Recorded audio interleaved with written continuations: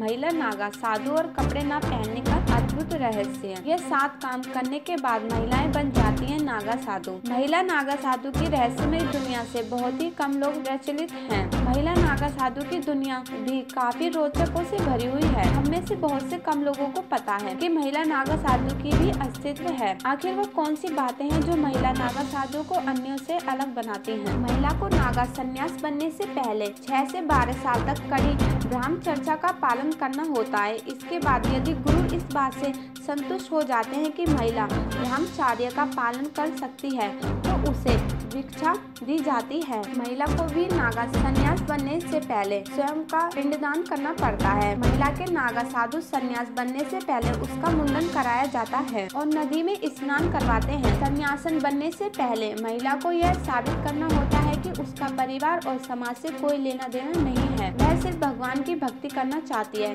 इस बात की संतुष्टि होने के बाद ही कुंभ में नागा साधु के साथ महिलाएँ संन्यासन भी स्नान करती हैं। अखाड़े में संन्यासन महिला को पूरा सामान दिया जाता है। इतना ही नहीं, जब महिला संन्यासन बन जाती है तो अखाड़े के सभी संत साधु उन्हें माता कहकर संबोधित करते हैं। पुरुष नागा साधु और महिला नागा साधु में फ़र्क सिर्फ़ इतना है कि महिला नागा साधु को एक पीला वस्त्र में ही रहना होता है और यह वस्त्र पहनकर उन्हें स्नान करना होता है। बिना वस्त्र के स्नान करने की अनुमति नहीं दी जाती। यहाँ तक कि कुंभ के मेले में भी थी न्यूज़ की रिपोर्ट।